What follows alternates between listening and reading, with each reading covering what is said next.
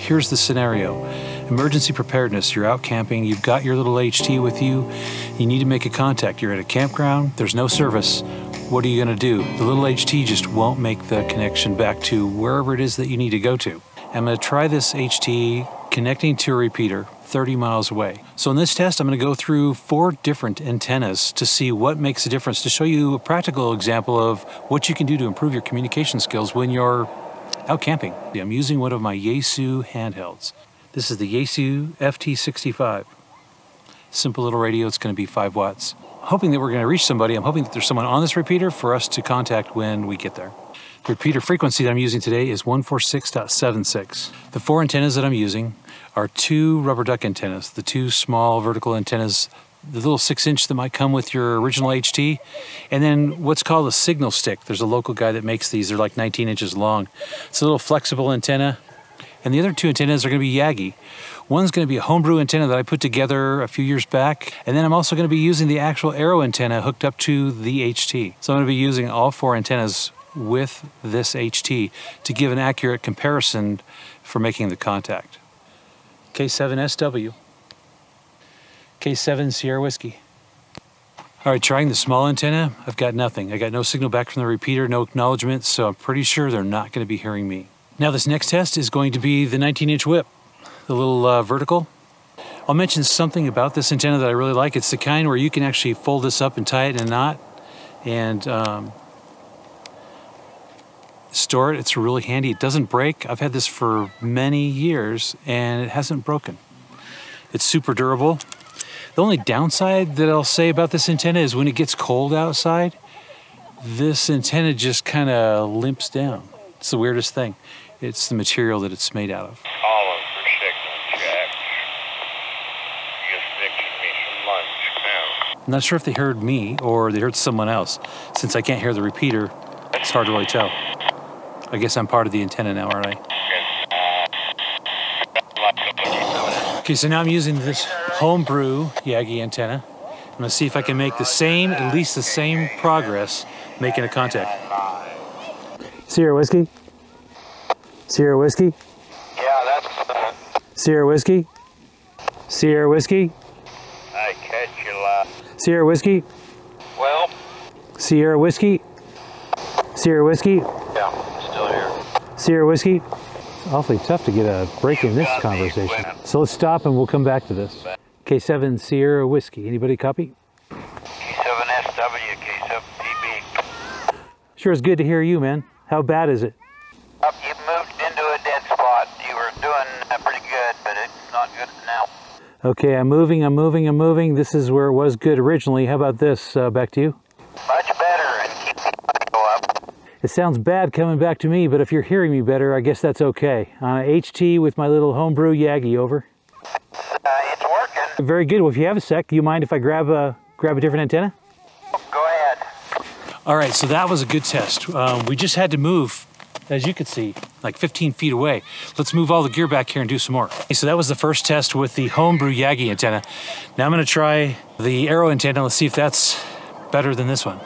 All right, I changed direction. Is that any better or worse? The Yagi is much better, but you're better now than you were a second ago. Okay, instead of aiming towards Lake Mountain, I'm aiming towards St. George, and it's uh, reflecting off those, probably off Nebo now. Yeah, that canyon runs the wrong direction. you, you pointed at the repeater. You got you got a great big uh, mountain in the way.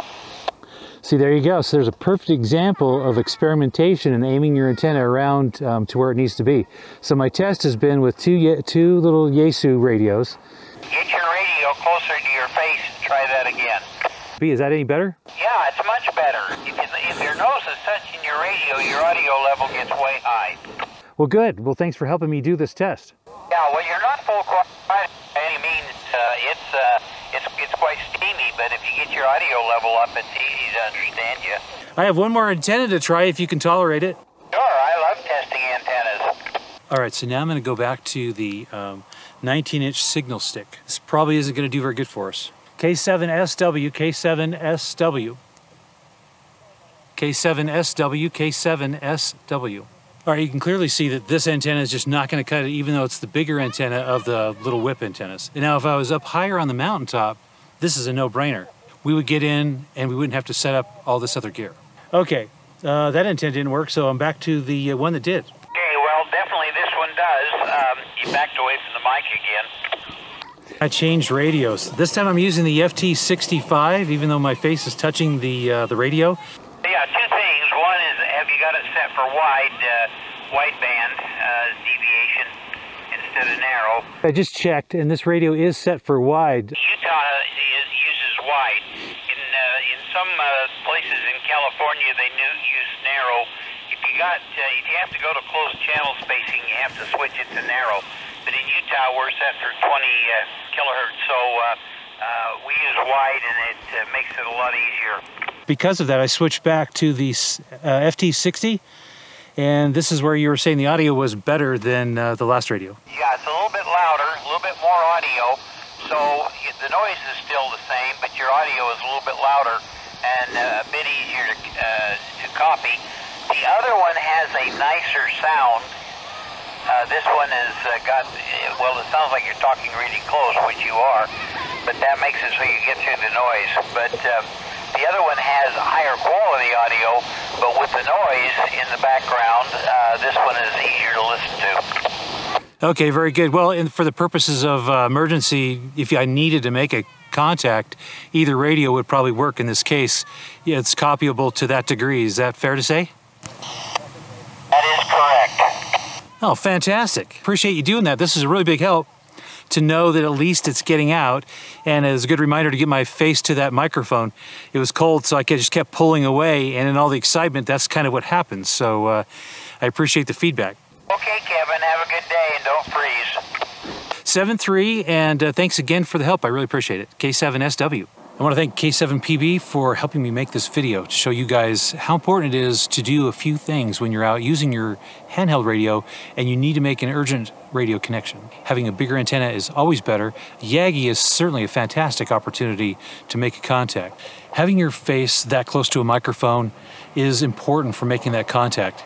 My signal was so steamy that I was barely making that connection to that repeater. And luckily for me, the guy on the other end, K7PB, was there to give me real feedback and let me know what to do to improve my signal. Because it's so cold, I'm excited. There's stuff that's going on around here. I had my microphone at least half an inch away. That doesn't seem like it's very far, but it made that big of a difference. And also, when you have an antenna, when you're using a Yagi antenna like I was doing, I aimed at a different location. So I aimed my antenna directly to where the repeater should be. And of course, the signal was okay, but it wasn't good. But since I know from being here before and experimenting like I always do when I'm out, I aim that antenna in all directions until I found the spot where the signal will reflect back into the valley to where this repeater is. In my case, I was aiming 90 degrees away from where the repeater was, and that's not uncommon, so that might be something that could be valuable for you in the future.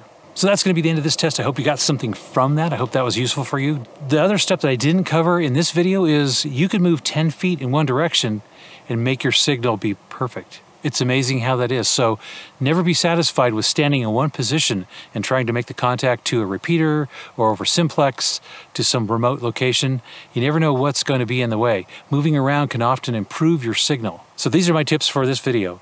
Make sure your mic is close to your mouth. Make sure your antenna is aimed in the right direction if you're using a Yagi and always use a big antenna wherever you can. And of course, climbing higher if you're in a uh, emergency situation or you're in a remote location, higher is always better. If you got something from this video, click that like button down below. It does help the video, it does help the channel, and YouTube promotes these videos to make it easier for people like you to see. If you're new here, consider subscribing to get more videos like this. And I'll see you on the next one. Thanks for watching.